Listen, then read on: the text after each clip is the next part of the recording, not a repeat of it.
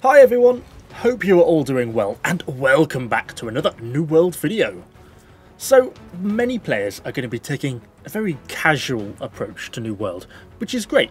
Everyone should be able to play the game at their own pace. But if you're anything like me then at least part of the fun is a little bit of getting your grind on and starting to tackle the levelling process, which is what I want to be covering in this video. So sit down, grab yourself a cup of tea and let's get to it. So primarily, your core form of levelling is always going to be questing. Partially the main quest line, sort of as and when you hit the relevant level requirements, because the main story quests are actually pretty heavily level gated, but mostly it's going to be coming from things like side quests. Everything else, town projects, corrupted portals, expeditions, elite zones, they are all there to really support your levelling. They can all work great, and don't get me wrong, you know, you can technically fully level up using them, but in most cases, the intention is that they're really there to support your quest based levelling. So that really opens up the question of how can we speed up the process of working through these quests? Firstly, it sounds stupid, I know, and I'm not trying to teach you to suck eggs, but it's remarkable how many people don't take every quest they come across. New World has an incredibly simple and very nicely organised journal and map system which makes it very easy to organise and navigate between the quests, so don't worry about picking up too many. Plus, some of the quests actually cut between different regions, so you're never really going to know when you might be passing one unless you actually collect them all as you meet them. Another great way of saving time is spawn dying. I've talked about this in a few videos before, but there used to be a respawn button, and this effectively acted as basically like a suicide button because when you die in New World, you'll get the option to respawn at the nearest town. And this is quite often where the quest handing actually is, and could end up being kilometres away from where you actually died, and actually where you were completing the quest items. Thus it can save you not only a lot of time, but a big chunk of walking. But as I said, that respawn button has now been removed from the game. But actually, in reality, the core mechanics remain the same. That button only acted as a suicide button, so if you die to mobs, drown yourself in a shallow river, it all has the same effect and you can still respawn to that town. Bear in mind, this will cause you a small amount of equipment damage on both items equipped to you and stuff in your inventory. But in the early stages of the game, you'll be changing equipment so regularly that it really doesn't matter much. If you're not keen on the respawn dying though, then it can be well worth making the most of the respawn shrines that are dotted around the map. You will have to discover them first before you can use them, except for the uh, one you get unlocked next to Jonas, and you do need to keep an eye on how much Azoth you are spending, because you do have a finite amount, and if you go a bit crazy on the fast travelling, you'll soon find yourselves running out.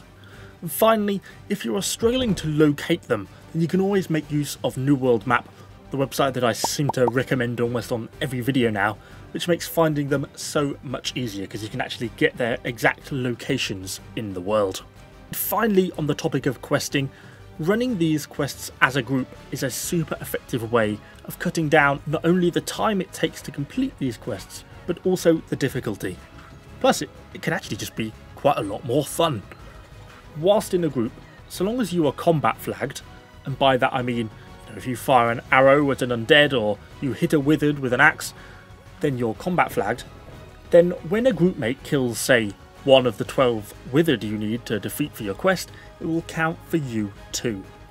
You can also split up to search for chests if that's part of your quest, or find items, or join up to defeat more challenging bosses. There is certainly an increased efficiency to group levelling. But whilst you're running around New World completing all these side quests and main quests, you can also be thinking about town projects and faction quests. To take faction quests first, once you've picked your faction, which you should be doing around level 9 or 10, you'll have the option to take 3 PvE and 3 PvP faction quests. I'll leave out the PvP stuff for now because not everyone is going to want to flag and that's really a topic for a separate video. But for the PvE quests, the key is to look at their location. Sometimes they might actually be close to, or in the same place as your next side quest. Hell, sometimes they even have the same objectives. I once had to go to a place for a side quest to kill 12 ancients and collect two chests. I then got a faction quest to also kill 12 ancients in the same location. So really, I've only got to kill 12 once and I'm completing two quests. If that's the case, then it would be absolute madness to not be taking these faction quests. Not only are they a good source of XP, but you'll also be earning faction currency to spend in the faction store. A great way to increase the speed of your leveling, so be sure to check out the faction missions before you leave town. Town projects. These have had a real rollercoaster of a journey over the past few months, which has essentially resulted in them seeing some pretty heavy nerfs, as some players were really finding ways to abuse them and basically level up too quickly. However, they are still a great tool to help with your leveling, but there are a few trap projects that you're probably going to want to avoid.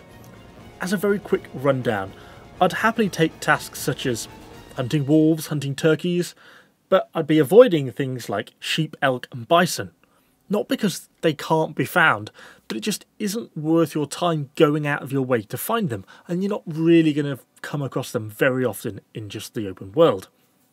If you're anything like me though, I always mine iron ore nodes when I pass them, so I always accept weaponsmithing, armor smithing quests, as iron ore is always going to be the primary ingredient.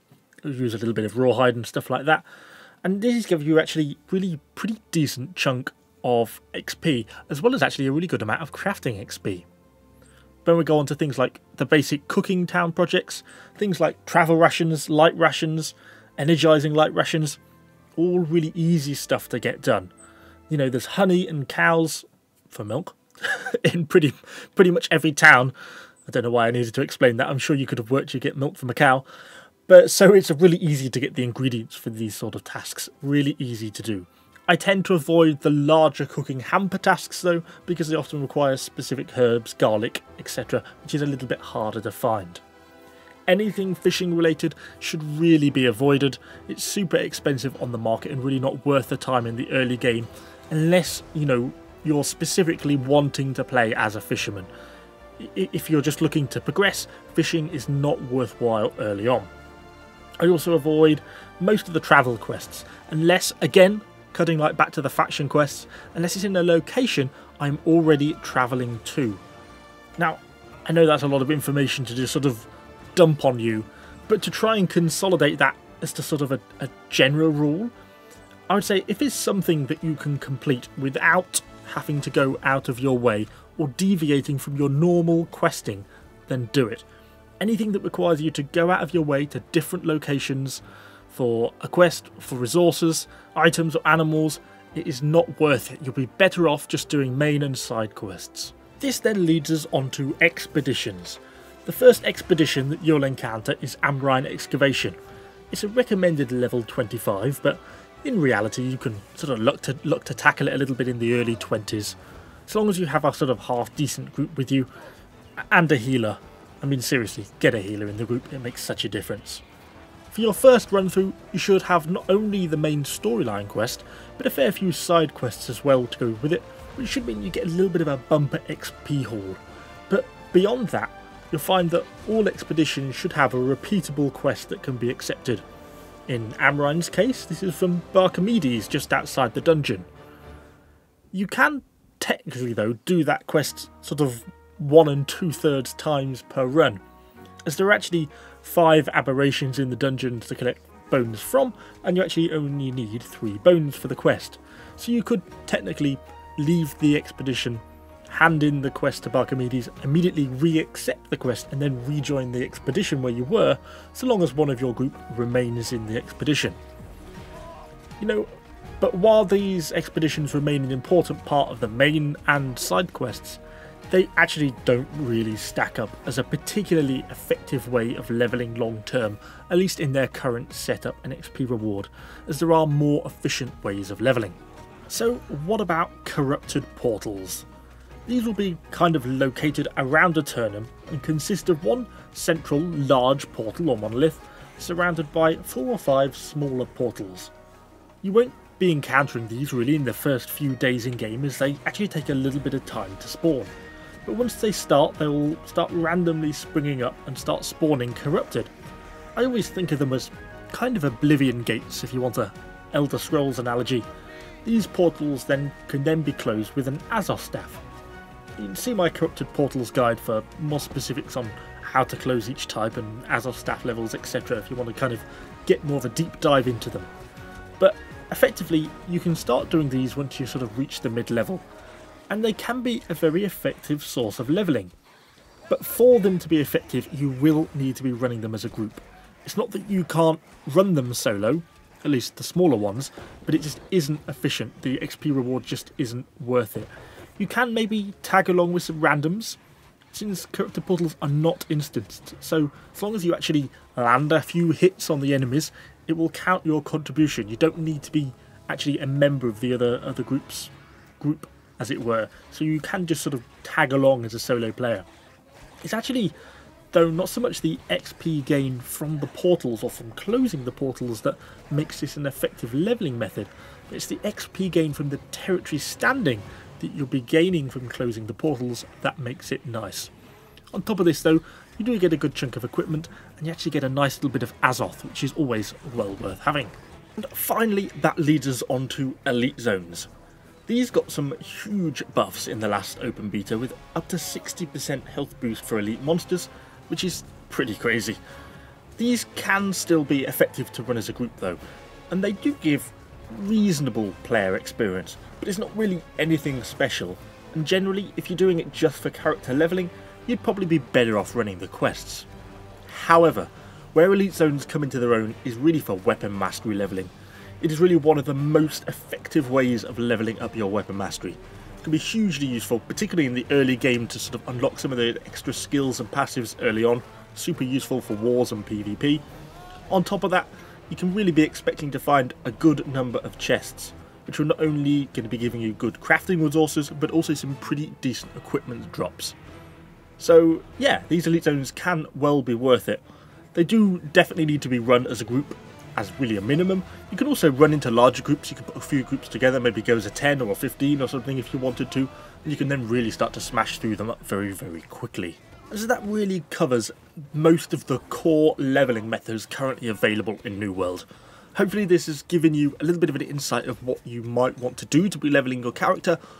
Main quests, side quests are really the way to go, but there's a lot of interesting stuff to do on the side which is going to gain you a few levels, help you out with the levelling, plus just provide some fun additional content.